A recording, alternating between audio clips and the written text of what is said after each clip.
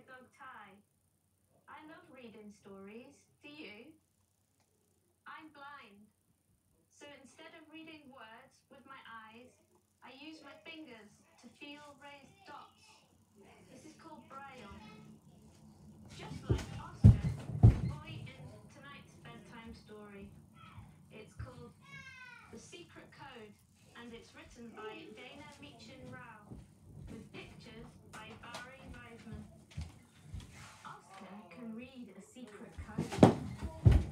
Picture is widely read here and touches dots on a page. Lucy saw it when Oscar opened his book. Lucy, who's black with curly hair and few tight plaits, sits behind Oscar in a busy classroom. Oscar's book is different from Lucy's. While the teacher and other children work, Lucy peers over Oscar's shoulder. Lucy's page has black letters. She reads with her hmm. eyes. A picture in her book of a girl and a dog. The girl and her dog ran and ran and ran as fast as they could go. Oscar's page is covered with bumps. He reads with his fingers. His eyes are closed and he's feeling the bumps across the page with his fingers. Is that a secret code? Lucy asks. They are walking through the school.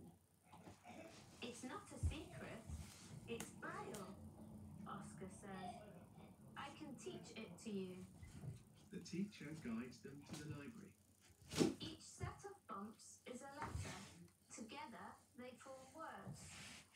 Oscar shows Lucy a braille book that also has pictures in it. Just like my letters, Lucy says. Her book has the same pictures,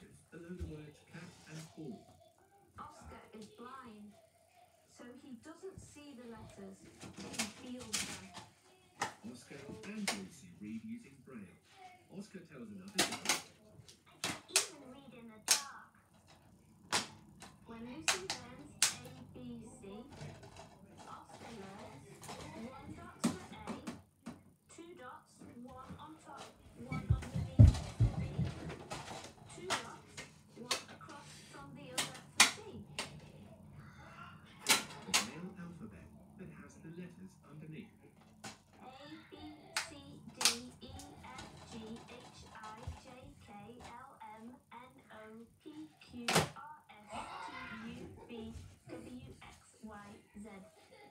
Now Lucy knows the secret code. In class, Lucy has her eyes closed and is holding an open braille book. Oscar can write notes to Lucy. Using a braille writing machine, he hands her a note while she's drawing. And Lucy can read the message.